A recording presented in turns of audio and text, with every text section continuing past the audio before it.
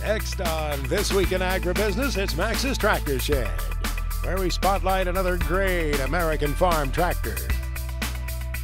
Well, Father's Day weekend was celebrated in many farm families with the help of an old tractor. I'll give you an example from Texas. Max's Tractor Shed is brought to you by Mystic Lubricants. Mystic Lubricants are made to make it last. Well, before I get to this week's tractor, I want to follow up on something from last week about that old toolbox that was on the back of my Super H.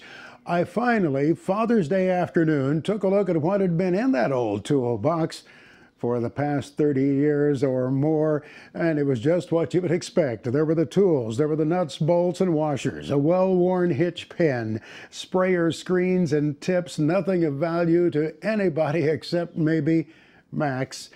But you know what? I may fix up, may restore that old toolbox. Let's take you to Texas, where Father's Day was special because of a John Deere 3010. Sure enough, at Sweetwater, Texas, Mr. Alton Pyburn turned 92 on Father's Day.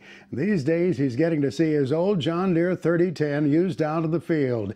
He bought that tractor back in the 90s. It just sat in a state of disrepair for about 10 years, and finally, last summer, Alton's grandson, Ashel Pyburn, decided to get it running again so he could use it some as he raises cattle there in central Texas. It was a lot of work, but I'm certain Ashel Pyburn was glad he brought back to life Grandpa Alton's John Deere 3010 in time for his granddad's 92nd birthday. Paging Mark Stock. Mark Stock. Is Mark Stock in the house? Sure he is. With his weekly report from Big Iron.